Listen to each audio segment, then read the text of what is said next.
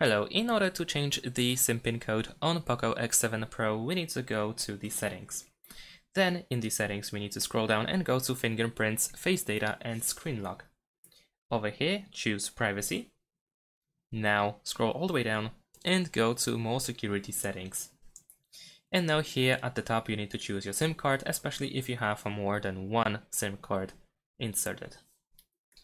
Then you need to first lock your SIM card. You need to enable the lock. So tap on the switcher and enter the current pin code.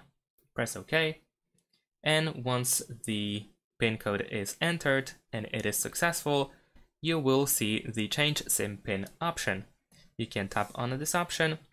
First enter the current pin code. Press OK. Now enter the new code for your SIM card and then once again re-enter the same new code.